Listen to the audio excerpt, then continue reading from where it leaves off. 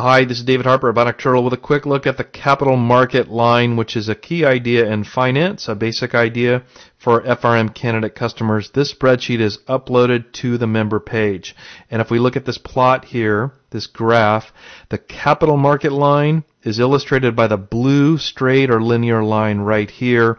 And in less than 10 minutes, I'm going to show you how we construct the capital market line.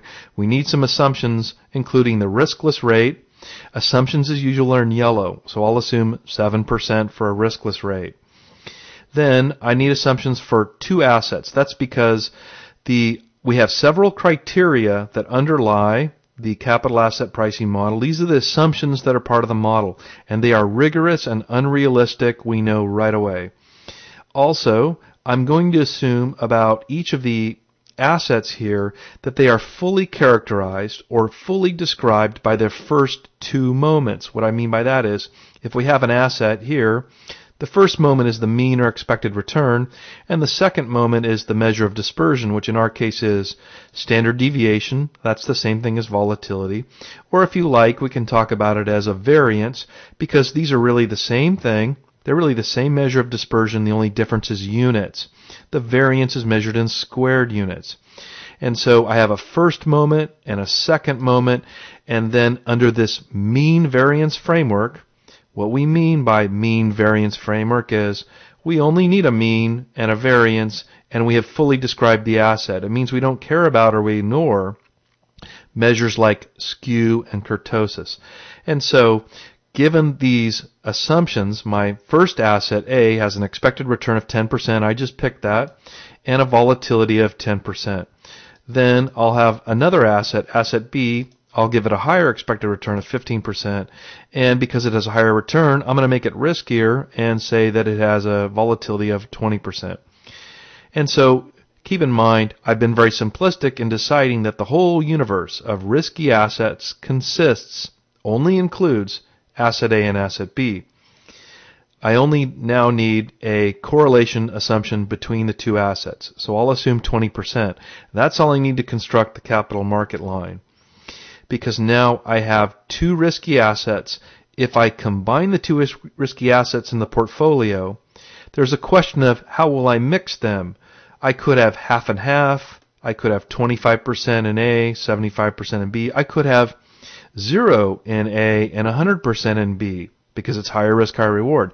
I really have an infinite number of combinations of mix or asset allocation between A and B. So the portfolio that it consists of asset B is described by the nonlinear line here on this plot. And I have two colors for it. It starts here green in what we call the efficient frontier right here. But notice it's nonlinear, and then it, this is still the same line. I just changed the color as it shifts, as it moves out of the efficient frontier into the downside here, where it's red. This is still the portfolio. The difference here, the only difference here is the mix between asset A and asset B. The return of our portfolio that includes asset A plus asset B, the return is a linear function, a linear combination of the two assets. However, the volatility of our portfolio is a nonlinear function of the respective volatilities because of the correlation. So if we move over here to the right, what I've plotted simply here, here are the calculations again for the portfolio that includes both asset A and asset B. So for example, here's the portfolio that has zero that consists of zero of asset A and therefore 100% of asset B. That portfolio that includes only asset B, it has a volatility of 20% and an expected return of 15%. Those were our input assumptions for asset B. And that is right about here on this line. Standard deviation of 20%. We can't see the y-axis, but it's an expected return of about, of about 15%. Okay, that's the portfolio with only asset B. Now, I'm going to let's move down a row and mix in just a little bit of asset A. Now we're at 10% of asset A, and that means we're 90% of asset B.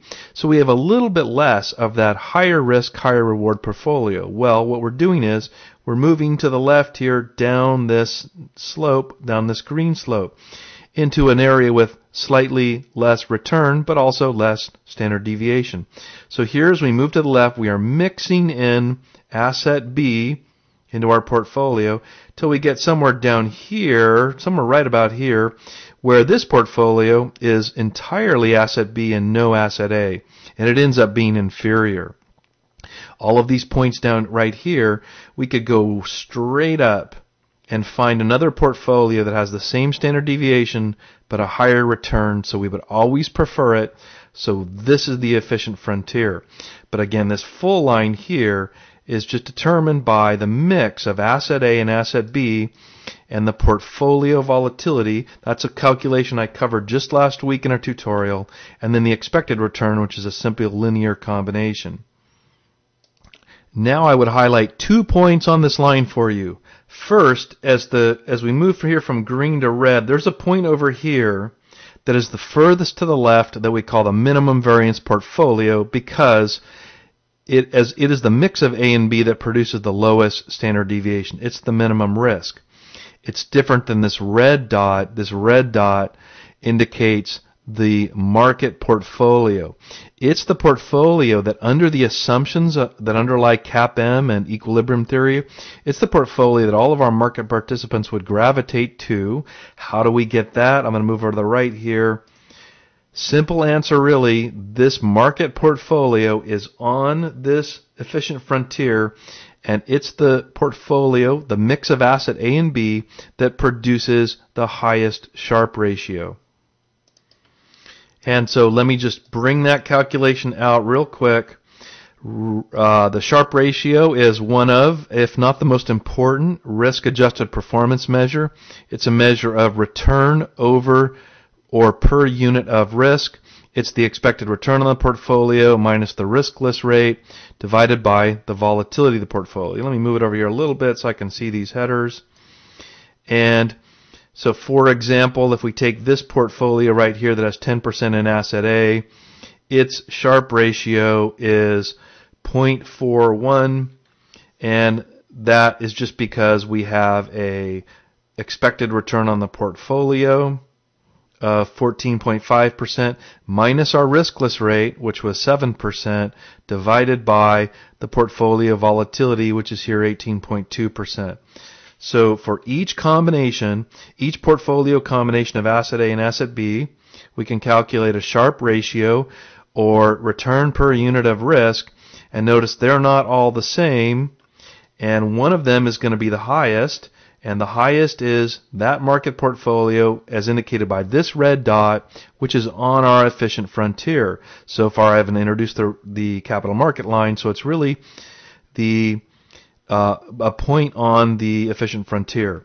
Okay, so now we can do the capital market line. If I go back over here, I'll move the formula for the Sharpe ratio out. And we've got an efficient frontier. We have a market portfolio here. And now we take a further step back. Now we know that everybody's decided that that they're going to hold the market portfolio. That's going to be the risky portfolio. And now the asset allocation issue becomes how much market portfolio do we hold compared to a riskless asset like treasuries or cash that have no risk for us. So now we're taking a step back and the asset allocation decision is between that, the risk free asset and the market portfolio, which itself includes asset A and asset B. So the risk-free asset is right here on the y-axis. It's at 7%. And if we hold all of the risk-free asset, we're only going to get 7%, but we're also going to get no standard deviation. It has no volatility. So that's the portfolio right here. If we hold only the market portfolio, we're going to have the red dot here with the characteristics we just solved for. The mix the asset allocation between riskless and market portfolio is plotted by the capital market line, and that's what it is. If we move down here, this is us lending, lending, lending more and more and more until we're only earning the riskless rate. As we move over here, this this line moves up, but still in linear fashion because we're borrowing in order to leverage the risk and return, uh, which serves as a multiplier on the market portfolio. And then we'll notice that because we can do this all of these points on the blue line are superior to the efficient frontier, just as the efficient frontier was superior to these points here.